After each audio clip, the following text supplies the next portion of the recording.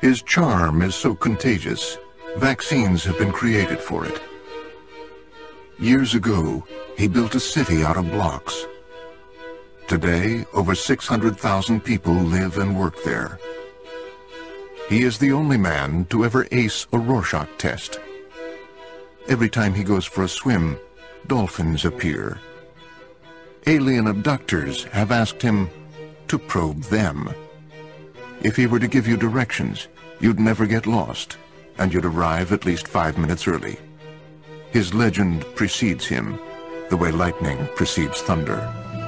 He is the most interesting man in the world. He has amassed an incredibly large DVD library, and it is said that he never once alphabetized it. If he were to mail a letter without postage, it would still get there. When it is raining, it is because he's thinking about something sad. The pheromones he secretes have been known to affect people miles away in a slight but measurable way. He once punched a magician. That's right, you heard me. His blood smells like cologne. His hands feel like rich brown suede. He is the most interesting man in the world.